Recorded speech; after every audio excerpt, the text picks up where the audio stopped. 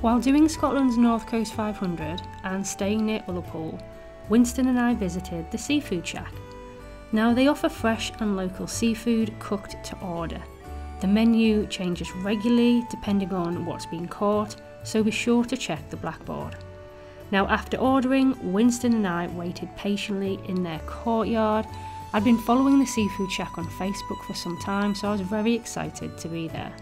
I ordered a haddock wrap, which I ate whilst I was there, and then I also ordered a smoked mackerel pate, which I took back with me. Now, afterwards, we went for a walk up Ullapool Hill the weather had turned, so it wasn't as enjoyable as I hoped it would be, so we went back to the pod, snuggled up with a hot cup of tea, and stayed there for the rest of the day, nice, warm, and dry.